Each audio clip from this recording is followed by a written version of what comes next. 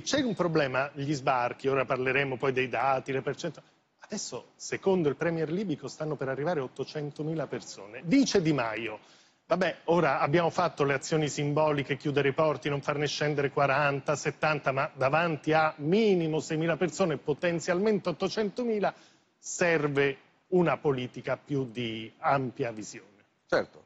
Lei che dice? Ovvio che occorre coinvolgere l'Europa, occorre lavorare per la pace in Libia e questo sto facendo, sta facendo il governo italiano, ne sono orgoglioso perché gli errori che sono stati fatti in Libia, in Iraq, in Afghanistan li stiamo pagando ancora adesso. Con le bombe, i missili e i carri armati non si risolvono i problemi.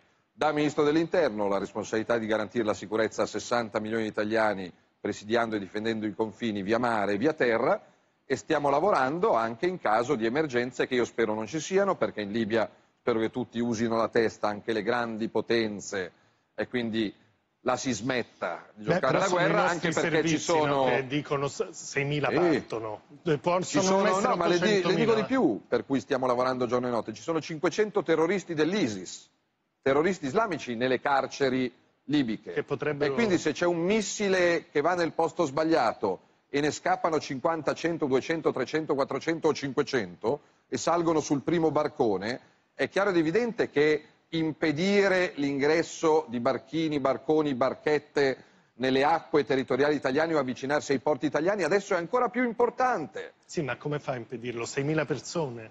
No, ma li ferma tutti. L'abbiamo fatto fino adesso. Si entra col permesso, come in qualsiasi altro paese civile. Senta, Lei... questi sono rifugiati perché scappano no, da una guerra? No, al momento fortunatamente guerra non c'è. Ci sono scontri ma non c'è la guerra. Cioè lei, Continuano la 30, la Ministra della Difesa, quindi il suo, proprio, sì. il suo omologo, no? interni e difesa, per stare tranquilli gli italiani pensano a interni e difesa. Sì. La, la, difesa dice il contrario, eh. scappano cosa? da là quindi sono da accogliere detto, in quanto rifugiati. Se ci fosse la guerra sarebbero tutti rifugiati ancora fortunatamente non c'è la guerra, cioè, stiamo lavorando perché guerra, non ci sia la guerra. Mi definisce guerra? Ma guardi, ci sono alcune decine di morti, 20.000 sfollati e, e, alcuni feriti che stiamo accogliendo anche in Italia negli ospedali italiani, perché noi stiamo continuando in silenzio ad accogliere chi scappa dalla guerra che arriva in aereo. Donne, bambini, anziani e invalidi arrivano in Italia in aereo. Ma siccome sui barconi c'è la possibilità che arrivino dei terroristi. Sì, però lei in base alla Costituzione italiana, non no, che sia ma... una cosa bella, perché io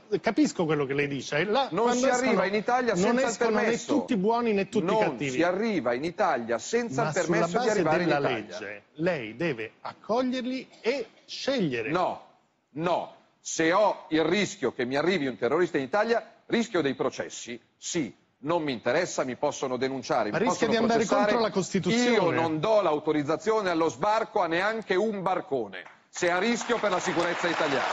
Ok? Ok, eh. lei non dà l'autorizzazione e quelli sbarcano uguale. No. Sbarcano uguale. No. Sono sbarcati in 70 a Lampedusa. L'autorizzazione sono... la dà il ministro da... dell'interno. Ma venivano dalla Tunisia e sono sbarcati. Perfetto. Si pensi a quelli che escono dalla guerra, pensi alle reazioni internazionali, pensi alle reazioni all'interno di questo paese. Anche se lei è convinto di aver ragione, quali possono essere le conseguenze Guardi, di un atto che ce l'ha con Salvini ci sarà sempre qualcuno che dice che Salvini ha torto ci sarà sempre magari non, sa ragione benvenuti non mi interessa allora